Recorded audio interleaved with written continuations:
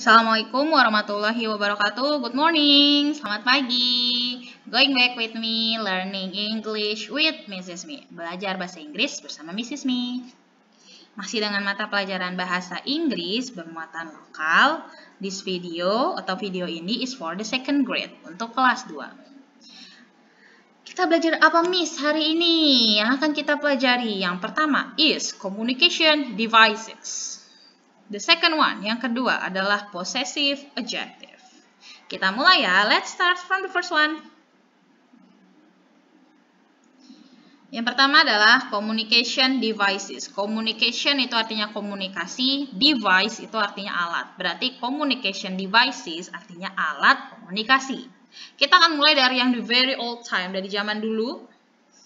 Yaitu ada apa aja. Ah, yang pernah uh, ke rumah kakek nenek di desa mungkin tahu ya ini namanya apa. Untuk yang belum tahu, ini namanya kentungan atau disebut juga kentongan. Nah, dibunyikannya e, digunakannya dengan cara apa, Miss? Nah, ini kan ada rongga di tengahnya ya. Rongga ini menghasilkan suara atau sound. And then there is a stick, ada stick. Nah, stick ini digunakan dengan cara dihit atau dipukul, diketuk si kentungan ini sehingga menghasilkan suara. Suaranya cuma uh, satu. Jadi ini sebagai kayak alarm ya. Nanti kita bahas deh kentungan. Lalu yang a bit modern ada letter atau surat. Nah, ini surat dimasukkan ke amplop atau envelope.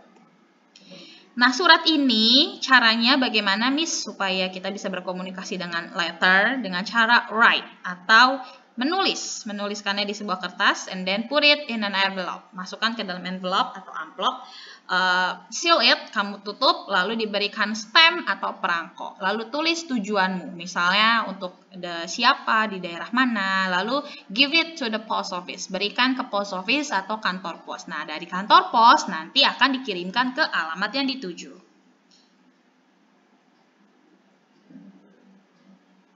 Oke, kita bahas sedikit mengenai salah satu alat uh, komunikasi yang pertama tadi kita sebut yaitu kentungan atau kentongan. Kentungan is made of bamboo, terbuat dari bambu. Walaupun ada beberapa yang pakai wood ya, atau kayu.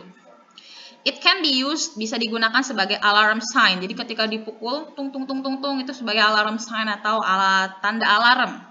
Bisa berarti long distance communication, komunikasi sinyal komunikasi untuk jarak jauh, karena suaranya ini bisa uh, a bit louder untuk jarak yang agak jauh. Morse code, kode Morse, azan sign. Nah, biasanya sebelum azan mulai tung tung tung tung tung selain pakai beduk ya, bisa pakai kentungan or danger sign. Jadi untuk di daerah-daerah tertentu yang masih menggunakan kentungan itu digunakan bisa juga sebagai danger sign atau alarm bahaya. Misalnya ada maling atau ada uh, gunung mau meletus misalnya ya Nah, contoh cara memainkan seperti ini nih, dipukul, hitting. Size. Nah, bicara dengan size-nya atau ukurannya diameter atau lingkar uh, dalamnya itu adalah 40 cm, 40 cm, sementara length atau panjangnya itu sekitar 1.5, satu setengah sampai 2 meter. Seperti yang tadi ya agak besar. Jadi suara yang ditimbulkan juga bisa lebih besar. Louder. It is used biasa digunakan in rural uh, pedesaan atau mountainous areas atau daerah uh, pegunungan. Karena itu tadi suaranya bisa menggema untuk ke tempat yang lebih jauh. Oke, lalu communication devices berikutnya ada email.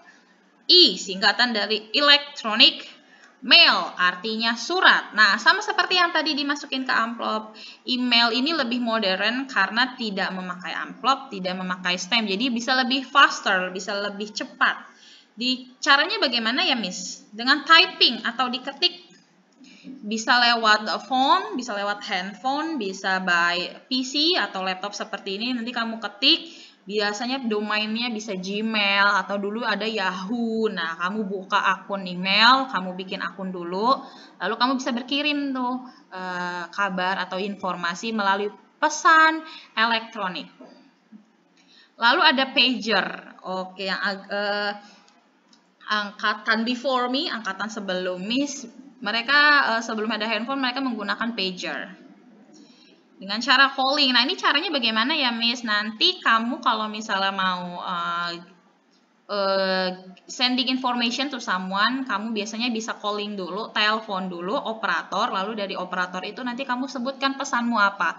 Nanti dari situ akan disampaikan ke alamat yang dituju.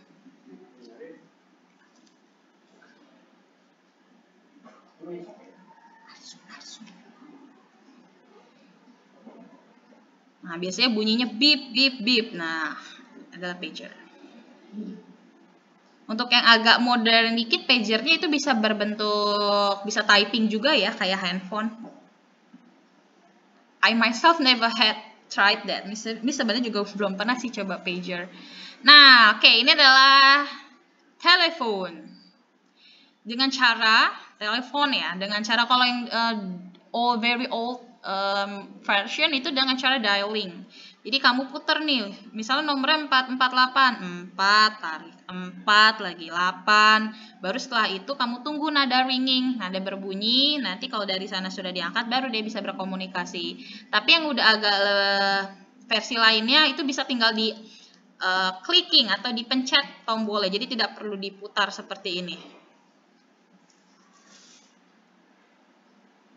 Lalu, nah ini versi mobile-nya. Jadi kalau telepon itu kan terkendala harus di uh, ruangan atau gedung ya. Jadi nggak bisa mobile. Misal kamu lagi di jalan atau di mana mau uh, ngirim surat, eh ngirim surat, mengirim pesan, mau telepon agak susah. Nah, here's the answer adalah handphone. Hand tadi kita sudah bahas ya di uh, bab sebelum sebelumnya. Hand itu tangan, phone itu telepon, telepon genggam untuk very uh, apa versi-versi awalnya bentuknya seperti ini. Jadi bentuknya hampir sama fungsinya seperti telepon. Kamu pencet, kamu klik, kamu klik angka yang dituju, lalu bisa telepon. Nah, ke kelebihannya ini bisa dibawa ke mana-mana. Walaupun untuk versi awal agak besar ya. Nah, untuk versi yang lebih modern itu udah ada tombol QWERTY, bisa kamu untuk texting atau mengetik pesan butuh pulsa ya untuk ini. Lalu ada Odumis. What is that thing? Ini namanya telegraph machine atau mesin telegraf. Dia mengirim informasinya menggunakan code atau kode. Nah, hasilnya seperti ini nih setelah uh, dikirim kodenya akan muncul bukti informasinya namanya telegram. Bukan telegram aplikasi yang sekarang ya, ini telegram uh, hasil dari telegraf tadi sending sending code nanti bentuknya seperti ini. Receive telegram akan diterima ke orang yang dituju. Gimana? Paham mengenai communication devices atau alat-alat komunikasi di zaman dulu sampai zaman sekarang? Miss belum bahas smartphone ya itu nanti akan dibahas di kelas 3 kita lanjut ke materi kedua yaitu possessive adjective Waduh, namanya susah, Miss. Apa itu?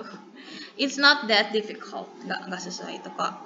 Posesif itu artinya kepunyaan atau kepemilikan dan adjective itu artinya sifat. Eh, kan.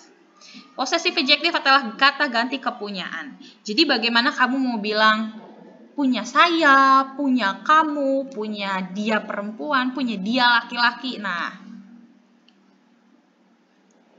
Nah, ini ada beberapa possessive adjective. Yang pertama, ada my. My artinya punya saya. Your artinya punya kamu. His artinya punya dia laki-laki dan her punya dia perempuan. Ulang ya. My punya aku atau punya saya. Your punya kamu his punya dia laki-laki dan her punya dia perempuan. Gimana sih cara penggunaannya, Miss? Kita lihat dalam contoh. Nah, misal seperti ini nih, ada cap, topi.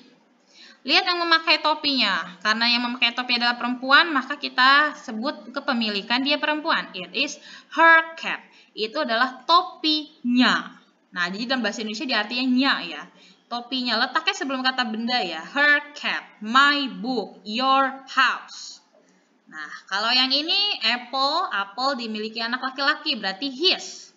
Punya dia laki-laki. Ya, itu sedikit contoh mengenai her dan his. Paham kira-kira? Oke, okay, that's all about our lessons today. Terima kasih for watching. Semoga paham, semoga bisa mengerjakan soal dari materi yang sudah Miss jelaskan. Good luck and keep fighting.